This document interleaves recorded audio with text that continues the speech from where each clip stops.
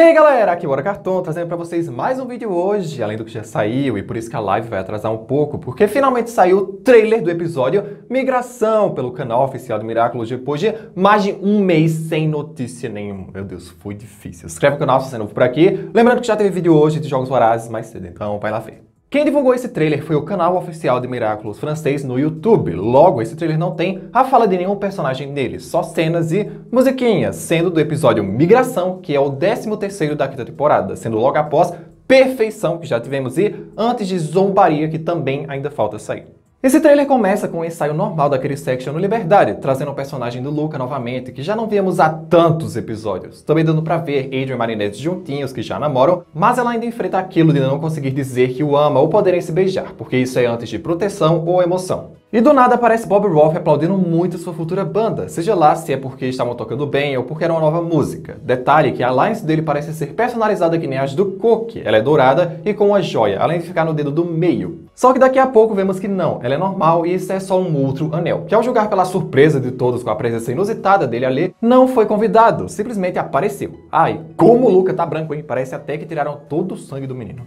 E Bob Roth deixa claro por que apareceu lá para oferecer o contrato da sua gravadora para todos daquele section assinarem, algo que vários episódios atrás em Determinação, ele se perguntava se Bob Roth realmente iria cumprir com a sua palavra, porque desde o meio da terceira temporada, em Silenciador, ele já havia prometido aquele contrato para eles. Com isso, os quatro integrantes assinam cada um seu contrato. Só que conhecendo Bob Roth, né, logo eles se chocam com algo escrito no contrato que não devem ter lido antes. E isso fica de lição para vocês. Sempre leiam o contrato que você vai assinar mas não dá para saber qual cláusula abusiva Bob Roth colocou no contrato deles. Por isso, Luca o rasga bem na frente dele, revelando o Bob Roth com uma roupa de mergulho tipo... Que? Agora ele estava com o seu terno de sempre, então talvez esse ato de rasgar na frente dele já seja em outra cena e eles só descobriram a trapaça que estavam caindo depois que o primeiro Bob Roth foi embora. Nem um pouco contente por terem enganado seus dois filhos, Anarca joga o homem para fora do barco. Por isso, um Akuma entra nos contratos que ele tinha na mão pouco antes de Anarca jogá-lo no Senna, surgindo um disco de ouro em sua mão, referência a conquistas musicais de artistas que podem alcançar disco de ouro ou disco de platina quando vendem muito.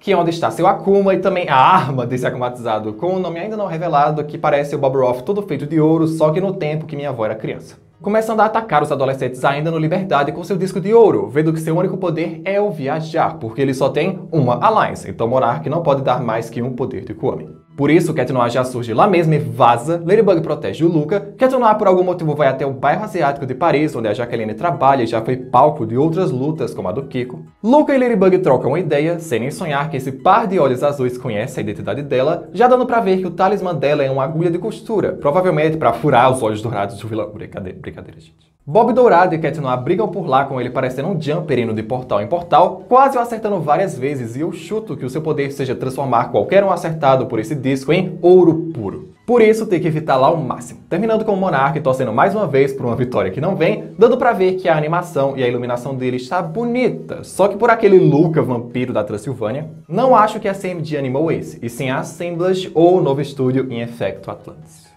Migração para mim não parece que vai ser um episódio ruim. Eu gosto do Luca finalmente reaparecer e do Bob Roth ter uma acumatização com o destaque, né? Porque o Mullock era poderoso sim, só que ele não dura nem um minuto de episódio. E dependendo como esse episódio vai acabar no final, pode explicar o porquê Lucas sumiu, já que notamos a sua falta no episódio Proteção. Então o sumiço tem que acontecer em migração, zombaria ou intuição. Bob Roth pode reformular o contrato no final, Jagged Stone pode intervir para oferecer uma contraproposta e etc. Fora que devemos ter pelas beiradas mais um pouco de desenvolvimento por Adrianette e a luta para dizer eu te amo e por um beijo. Enfim, explicando melhor como em emoção eles estão muito melhores do que em perfeição, que é bem no começo.